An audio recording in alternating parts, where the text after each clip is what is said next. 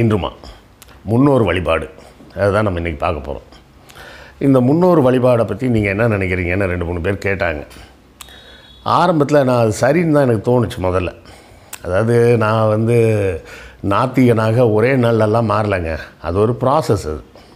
அது ஒரு ப்ராசஸ் ஒரு ஒரு இடமா ஆமாம் இதுவும் தப்பு இதுவும் தப்பு இதுவும் தப்புன்னு தோணு தோண தோண. கடைசியில் ஆமாம் எதுக்கு கடவுளே நமக்கு தேவையில்லையே? எதுக்கு தேவையில்லாமல் ஒரு இந்த கடவுளுக்கு பதிலாக அதை வச்சுக்கலாமா? அதுக்கு பதிலாக இதை வச்சுக்கலாமான்னு தொங்கிக்கிட்டு இருக்கோம். அப்படின்னு ஒரு தெளிவு பிறப்பதற்கு கொஞ்சம் காலம் எடுக்கும். ஆரம்பத்தில் இந்த பார்ப்பனிய எதிர்ப்பு அப்படின்ற சிந்தனையெல்லாம் வந்ததுக்கப்புறம் இந்த முக்கியமான கோயில்களுக்கெல்லாம் போகிறதெல்லாம் நான் விட்டுட்டேன் நான்.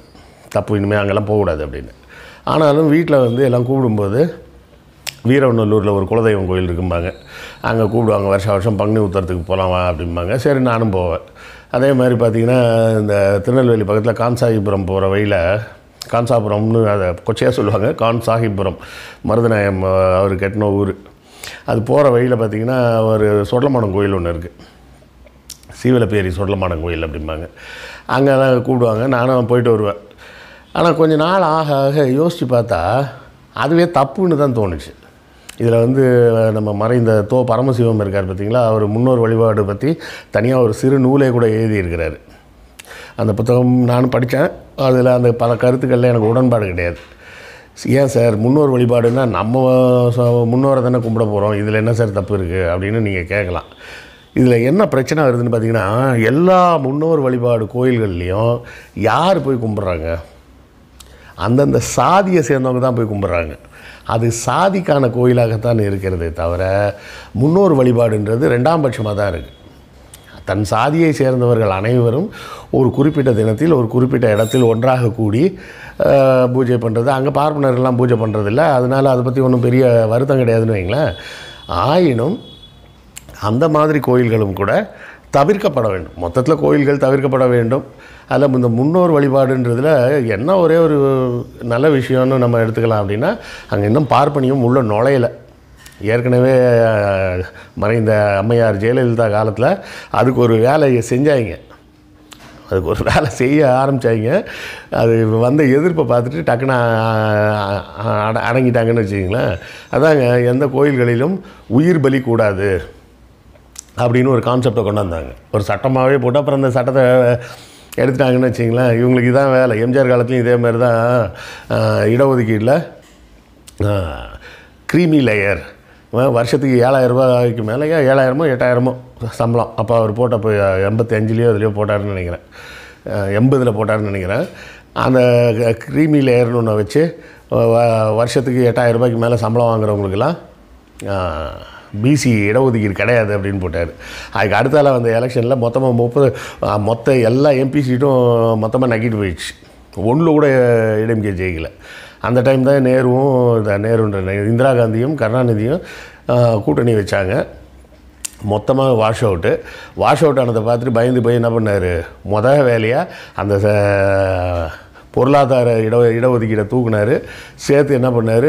இடஒதுக்கீடு அப்போ வந்து முப்பது சதவீதமோ என்ன இருந்ததுன்னு நினைக்கிறேன். அது ஐம்பது சதவீதம் ஆகிட்டார் அதுக்கப்புறமும் இதே மாதிரி தான் அம்மையார் ஜெயலலிதாவும் வந்து ஐம்பதுன்றதுக்கு தன்னோட பிரச்சனையை மறைக்கிறதுக்கு டக்குன்னு அதை அறுபத்தஞ்சு ஆக்குறேன் அப்படின்னாங்க.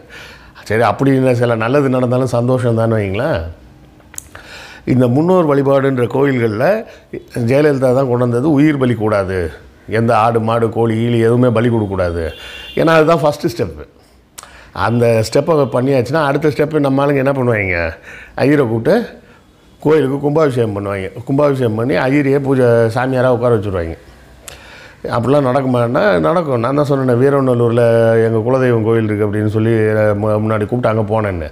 இப்போ பார்த்தா அந்த கோயிலில் வந்து ஒரு ஐயர் தான் பூஜை பண்ணிகிட்ருக்காரு ஏற்கனவே பூஜை பண்ணிக்கிட்டு இருந்தால தூக்கிட்டாங்க. அந்த அந்த சாதிக்காரன்னு வச்சிங்களேன் அந்த சாதிக்காரனை தூக்கிட்டாங்க. தூக்கிட்டு என்ன பண்ணுறாங்க இப்போ ஒரு ஐயரை வச்சு தான் பூஜை பண்ணிகிட்டு இருக்காங்க நான் முதல்ல ஒன்று சொல்கிறத நல்லா மனசில் வச்சுக்கோங்க. ஐயர்கள் பூஜை செய்வது புனிதமானது அப்படின்லாம் நினைக்கவே நினைக்காதீங்க. அவங்கெல்லாம் படிப்பறிவு இல்லாதவனுங்க. அதை நல்லா தெரிஞ்சுக்கங்க. என்ன சார் பொசுக்குன்னு இப்படி போட்டு உடைக்கிறீங்க என்ன? இது நான் ஏற்கனவே ரெண்டு மூணு தடவை சொல்லிட்டேன். இருந்தாலும் சொல்கிறேன் மறுபடியும். ஐயர்னு கோயிலில் பூஜை பண்ணுற யாரும் பெரிய அறிவாளிலாம் கிடையாது. எல்லாம் எட்டாம் கிளாஸு பத்தாம் கிளாஸு ப பன்னெண்டாம் கிளாஸு ஃபெயில் ஆனவங்க அப்படியா சார் சொல்கிறீங்க ஆமாங்க. அவங்களுக்கெல்லாம் வந்து ஒரு டிகிரி சா நமக்கு தான் வெறும் பிஏ படித்தா வேலை கிடைக்காது. அவங்களுக்கெல்லாம் உடனே வேலை கிடைக்காதுன்னு வச்சுக்கோங்க. அவங்களாம் வெறும் பிஏ பிகாம் படித்தா கூட டிவிஎஸ் ஐயங்கார் கம்பெனியில் ஏதாவது ஒரு வேலை கிடச்சிரும்.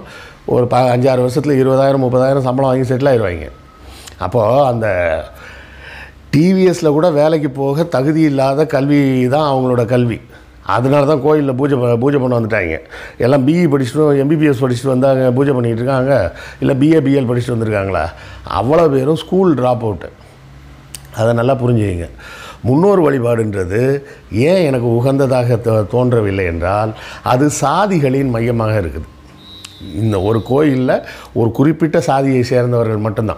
அது எந்த கோயிலாக வேணா இருக்கட்டும். தமிழ்நாடு பூரா ஏகப்பட்ட குலதெய்வம் கோயில் இருக்குது ஒவ்வொரு குலதெய்வம் கோயிலுக்கும் பார்த்திங்கன்னா அந்த ஒரு குறிப்பிட்ட சாதியை சேர்ந்தவர்கள் தான் போவாங்க. அப்படி தானே சார் போக முடியும்? முன்னோர்கள் அப்படி தானே சார்? முன்னோர்னால் நம்ம முன்னோர்னால் நம்ம ஜாதிக்காரனாக தானே இருப்போம் அப்படின்னு நீங்கள் கேள்வி கேட்கலாம். உங்கள் கேள்வி சரியானது. ஆனால் சாதின்றது நீங்கள் நினைக்கிற முன்னோர் மாதிரி ரெண்டாயிரம் வருஷத்துக்கு முன்னாடிலாம் கிடையாது. சாதின்றது உருவானதே ஒரு எண்ணூறு வருடங்களாகத்தான். அப்போது முன்னோர்ன்ற பேரில் எதை தூக்கி பிடிக்க முயற்சி செய்கிறோம் சாதியை தான் தூக்கி பிடிக்க முயற்சி செய்கிறோமே தவிர அதில் பெருமைக்குரிய விஷயம் எதுவும் இல்லை.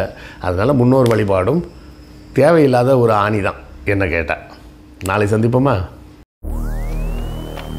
உங்களுக்கு இந்த வீடியோ பிடித்திருக்கும் என்று நம்புகிறோம். இந்த சேனலை சப்ஸ்கிரைப் செய்யுங்கள். எங்கள் வீடியோவை உங்கள் நண்பர்களுக்கு ஷேர் செய்யுங்கள். எழுத்தாளர் கிருஷ்ணவேலின் நூல்களை தமிழ்நூல் மன்றம் வெப்சைட் மூலமும் வாங்கலாம். வாட்ஸ்அப் மூலமும் வாங்கலாம். இரண்டுக்குமான லிங்க் டிஸ்கிரிப்ஷனில் உள்ளது. நன்றி.